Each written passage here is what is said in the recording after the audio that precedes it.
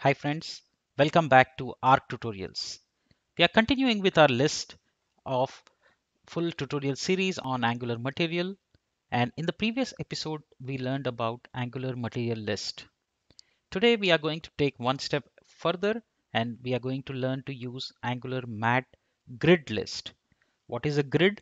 A grid is a box model so you can arrange multiple items adjacently to each other. So that way you can design your grid using the list. We'll learn how to do that now. Let's get started. Before we jump into practical friends, I request you to please kindly subscribe to my channel to keep supporting and encouraging me. If you have any technical doubts or queries, please drop them in the comment section.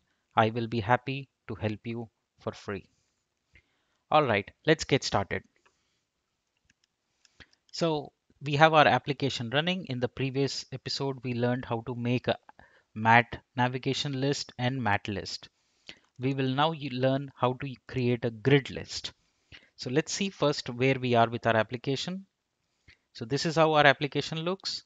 We used mat list to customize and present our badges that we used. And then we have created a navigation list here. Now let's go ahead and add our grid list. So let's create one more mat card. And to style it up, I'll give the same style that we have been using so we know that it's familiar to you.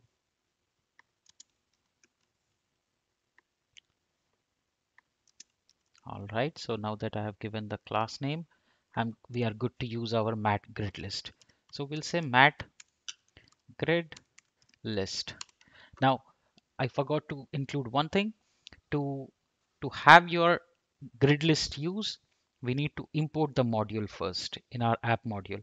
And that we have done as part of our generic module, which we created where we have imported all the modules.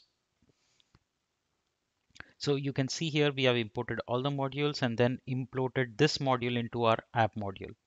This is important. You can directly also import, but for easy sake, we have included the all the modules in one go. Now let's go ahead and create our grid list. So first thing we need to tell is what do we want to, how many columns or how many rows we want. So I'm going to say that I want three column grid. So we specify columns equal to three. And then we will define our grids based on the number. So it's if it's three into two, we'll have six. So let's go ahead and add that tile. Let's call this red.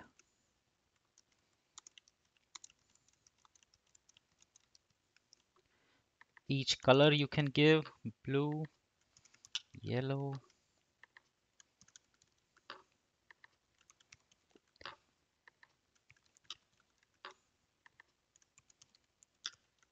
all right so we have created seven I think. So we'll did one. We have now six colors. Let's see the output.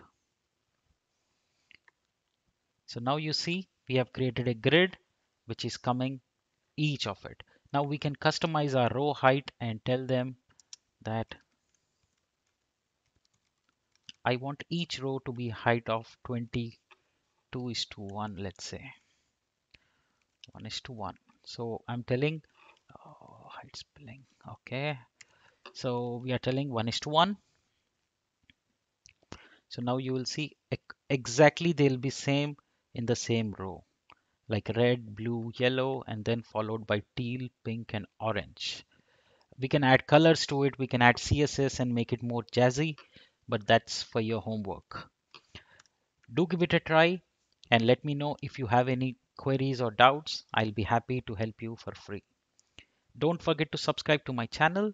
In the next tutorial, we will learn how to use tabs, we'll learn how to use dividers, how to use expansion panels. Stay tuned, there's a lot more to come.